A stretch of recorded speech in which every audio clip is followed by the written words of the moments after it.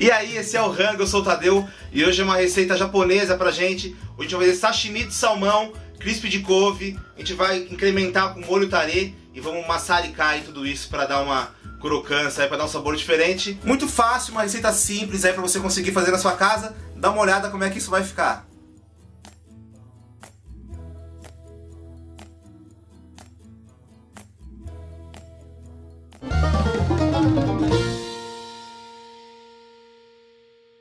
Poucos ingredientes, a gente vai usar couve, folha de couve aqui, salmão, aqui é uma peça de 600 gramas de salmão, mais ou menos. Aqui está o maçarico que a gente vai usar no final. A gente vai usar o molho tarê que a gente já fez aqui no canal, o link está aqui na tela. Você clica para pegar aí a manha de como é que faz o molho tarê. A couve, eu estou usando folha de couve normal aqui, que foi a única que eu achei no mercado que eu fui. É mais fácil você já comprar ela fatiada fininho, que é desse jeito que a gente vai usar. A gente vai fatiar ela bem fininha. É, sai mais barato comprar assim, você pode cortar e fatiar na sua casa igual a gente vai fazer por aqui. Mas se você achar a bandejinha dela fatiada, facilita bastante. Vamos pro preparo. Para começar aqui a couve, a gente já lavou todas bem, claro. E agora eu vou tirar o talo.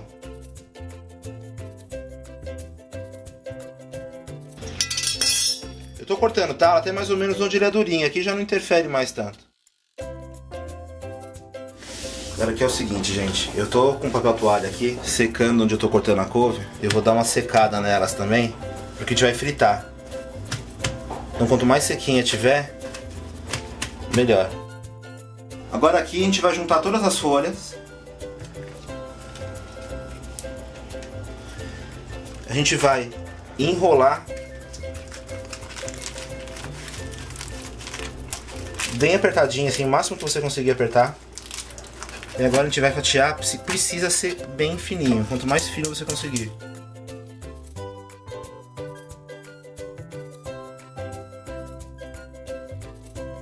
Não precisa ter pressa, vai no seu tempo. Se tiver uma faca boa ajuda.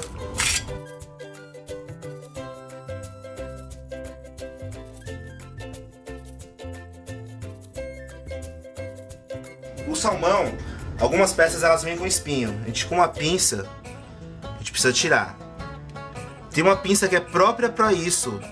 Eu não tenho, porque eu não uso muito. Eu tenho essa daqui em casa, que, eu, que é só para mexer com comida. Mas não é, é uma pinça comum. Ele sai fácil, tá? A gente vai com o dedo, a gente consegue sentir o espinho. Agora que é polêmico, gente. O pessoal aí, os orientais, vão falar que tá tudo errado. Até aí que eu posso fazer. É uma dica que eu tô dando pra vocês. Eu costumo fazer como? Eu divido aqui esse lombo no meio, esse filé.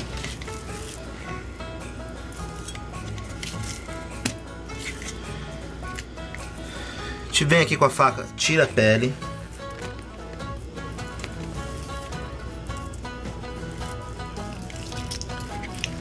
Uma faca boa é só a gente deslizar a faca entre a pele e o salmão.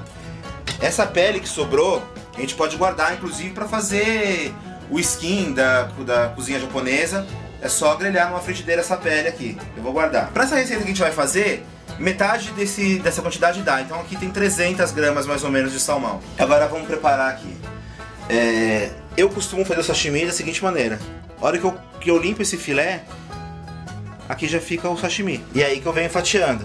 A faca precisa ser uma faca muito boa. Porque no, quando a gente vai cortar o peixe, a gente não pode ficar indo e vindo com a faca. A gente tem que fazer uma vez só. É, ou você vai precisar ter uma faca própria de sashimi para cozinha japonesa, ou uma faca de chefe. Precisa ser uma faca muito boa, uma faca bem afiada. A gente vai fazendo aqui os sashimis.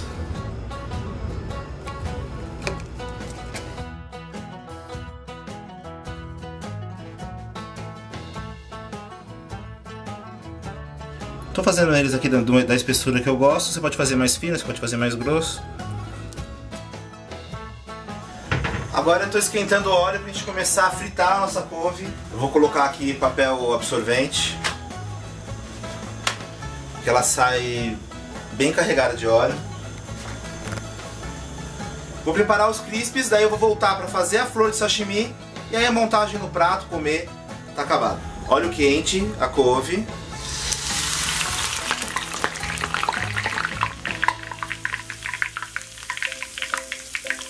A gente deixa só um pouquinho, a hora que joga, como tem muito, muita água, faz essa borbulha mesmo, não tem jeito. A gente espera baixar, como o óleo está bem quente, aí ela já vai ficar do jeito que a gente precisa aqui para nossa couve crisp. Essa couve é fez, monta o prato e come, não é uma coisa que dá pra gente guardar pronto na geladeira. Ela precisa ser fresquinha até porque ela é, é, tem uma crocância e tal. Rende bastante. Eu vou agora fazer aqui a flor de sashimi. É muito simples, gente. A gente vai colocar os sashimis aqui e a gente vai pondo um por cima do outro. Deixando aí uns dois dedos, mais ou menos. A hora que a gente montou, a gente volta enrolando eles aqui. Com cuidado, a gente pode até fazer em pezinho. Eu vou colocar no meio do prato. E agora eu vou fazer o seguinte. Eu vou dar uma maçaricada nele.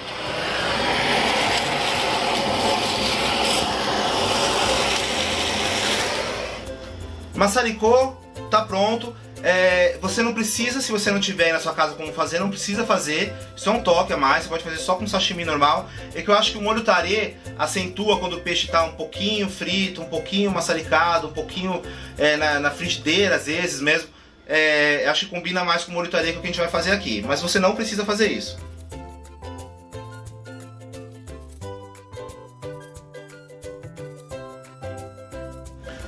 Crisp de couve em volta. E por último, eu vou usar aqui o molho tarê.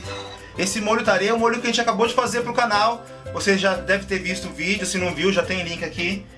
É que a gente vai colocar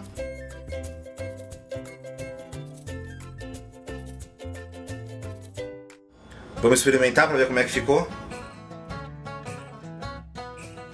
Delicioso. Você precisa fazer aí. É muito saboroso. A couve fica bem crocante. Sashimi é sashimi, com essa maçaricada dá um toque. Não precisa fazer se você não tiver como. Mas vale a pena, o molho tarê combina demais. Faz. Mais uma receita pronta no rango para você. Flor de sashimi com crisp de couve. Ficou muito legal. Sabe quem tem uma receita parecida com essa? O pessoal do Web Milanesa. Clica aqui no link que eu vou deixar na tela, você vai ver. Eles fizeram uma versão, se eu não me engano, foi com atum. Também é muito bacana vai lá conferir o trabalho dos caras que você já deve conhecer, é muito legal. É, gostou? Curte o vídeo, compartilha, mostra para os seus amigos, isso ajuda bastante a gente. A gente depende de vocês compartilharem para o nosso trabalho continuar dando certo. Se fizer receita, posta com a hashtag canal Rango, ajuda a compartilhar. Se você postar com a hashtag canal Rango, eu consigo achar ela no Instagram, consigo compartilhar isso também, consigo ver aí o que você fez. O site do Rango é canalrango.com, www.canalrango.com. A fanpage é facebook.com.br canalrango, a gente está em todas as mídias. E o mais importante é você compartilhar, curtir, que ajuda bastante a gente. Eu espero que vocês estejam gostando. Já assistiu o Tango? O Tango é nosso programa novo, a gente fala sobre é, bom de vários assuntos, é um programa de bate-papo, a gente bebe cerveja aí com apoio da Cerveja Store, é muito legal, dá uma conferida lá, vê o que você acha, dá umas dicas pra gente, pra gente melhorar. Valeu galera, esse foi o Rango.